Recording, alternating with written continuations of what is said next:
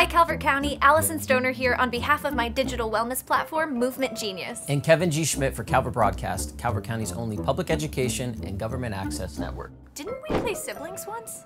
Twice. Hmm. Stretch, move, and relieve stress with me, then stick around for Live at Linda's to meet some local animals ready for adoption. This original content lineup is brought to you by Calvert Broadcast every other Saturday morning only on Comcast Channel 1070.